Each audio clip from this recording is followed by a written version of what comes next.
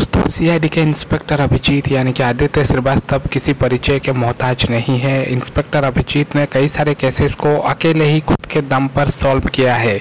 CID की शुरुआत जब से हुई थी, तब से दोस्तों अभिजीत जो है वो सीआईडी में बने हुए हैं और सिर्फ़ सीआईडी शो में ही नहीं, कई सारे बॉलीवुड के सुपरहिट मूवीज़ में भी अभिजीत ने अपने अभिनय का जौहर दिखा दिया है। तो दोस्तों सीआईडी के सीज़न टू में आने वाला है अभिजीत का एक डुप्लीकेट यानी कि अभिजीत का हम शक्ल, जो कि दिखने में अभिजीत की तरह है, लेकिन इसका मनसूबा कुछ और है। तो ये नकली अभिजीत कहाँ से आया और असली अभिजीत का क्या हुआ? सब कुछ हम डिस्कस करेंगे इस वीडियो में। तो फटाफट से इस वीडियो को दिल से लाइक कर दीजिए।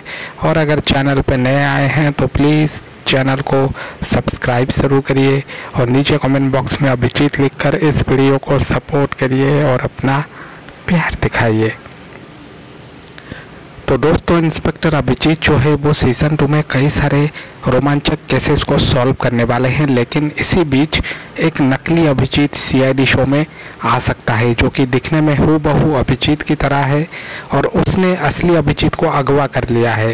तो क्या असली अभिजीत, नकली अभिजीत को हटाकर अपनी सही जगह पर वापस आ पाएँगे?